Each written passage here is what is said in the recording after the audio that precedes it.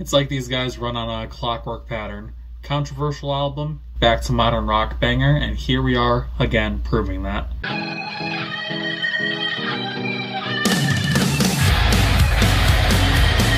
Welcome to Reyronu Does Music, where today we're looking at the 14th, Jesus, album from Green Day called Saviors. This band has been around the block and back about as many times as they have albums and then some, and the modern form of this band has been a very controversial one from the fanbase's perspective. A lot of people will cite 21st Century Breakdown as their last good album, but I think that while that LP served as a good division uh, division piece for the band's two eras of past and present, it didn't represent a firm split of good and bad, instead starting a cycle of something good, something mid. The Uno Dos Tres trilogy is arguably the lowest point of the band's modern career, but it was followed by the fiery late 2010s album Revolution Radio. Then we got Father of All, which is another middling album, but now here we are with Green Day showing off the best of their modern vibe, while also taking hints from the good old days. So let's take a look at that.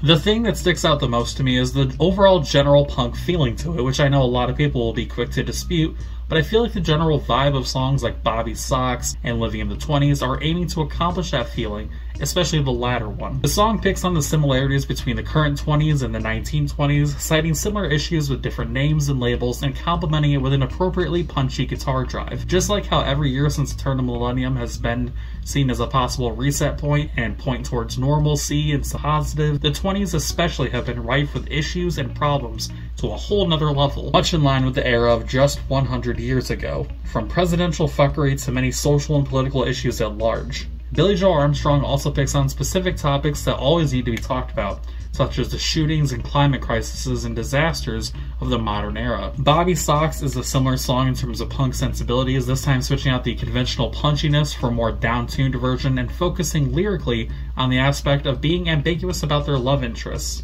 invoking a non confrontational confrontation piece, largely because of the general public's still all too common shitty feelings about bisexuality and people just wanting to love who they love with a funky little punk rock beat. Which Billie Joe here, of course, could give two shits less about. He's gonna be him, you should be you. Why give a fuck? Falling into always similar yet always enjoyable elements from the band, there's a lot of tracks on here that touch on various forms of our country is fucked. Here's a little jam about it such as the intro track, The American Dream is Killing Me. The commonly accepted visual of the American Dream is a nice house with a picket fence, kids, maybe a dog or two, but this is not so much a dream nowadays as it is a far off fantasy for a majority of the country, which the band touches on in strong measure, with lines talking about sleeping under bridges on top of broken glass.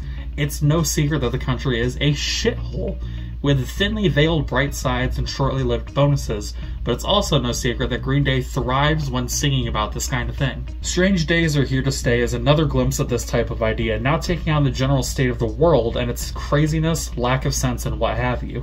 The world is desensitized to a lot of ideas and situations, such as the concept of something as insane as Project Babylon, referenced in one of the later lines in the song and being the name of a proposed mega weapon by an Iraqi leader, to the constant bitterness and uptight nature of those in power or positions of prominence. We're all numb in one way or another, and it's an enduring theme that manages to sound as welcome on a Green Day album as always. It's not all American hay all the time, though. More serene moments come throughout the tracklist such as with A Father to His Son, a track sung in a manner that rings true with the namesake, a promise and confession from father to offspring. Saying that within all the flames and worry that the world provides in constant motion, the son here proves himself as a difference among the frustration. It's a quick emotional moment amongst the many more aggressive and poignant confrontations on the album. This song is also followed by the title track, which is a plea for something better and something or someone to provide a change by way of being saviors to the world on fire.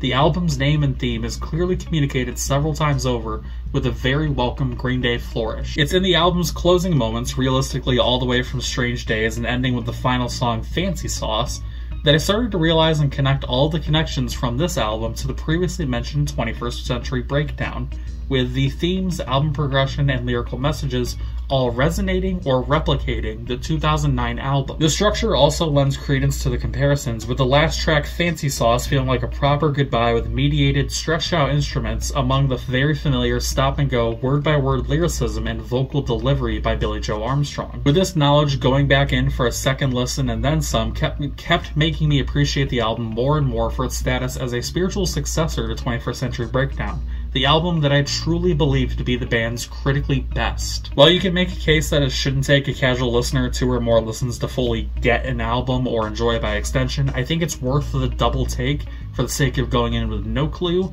and then returning with the ideas stuck in your head along with just all the infectious tunes. This album is beat for beat modern Green Day at its best. Not a single song on here sits anywhere near bad, nor does any song overstay its welcome, even when reaching 4 minutes or more. My only true complaint is that a few songs towards the middle, aside from lead singles, provide less instrumental nuance than usual. But with Green Day being 14 albums deep now, that's no general reason to use as a lack of wholly unique and fresh takes on the pop rock, punk rock, pop punk representation as a critical point. There are a lot of uh, consistent Mike Dirnt chugs and Tré Cool drum fills, and you could argue that it could be better, could be worse with more or less, but I think it's the familiarity and sameness due in part to the 21st century breakdown similarities and other elements that make it so good. So for these reasons, Saviors by Green Day gets an 8.8 out of 10, and that's the review. Let me know what you guys think down in the comment section below. Hope you're having a good day. I hope you're staying hydrated.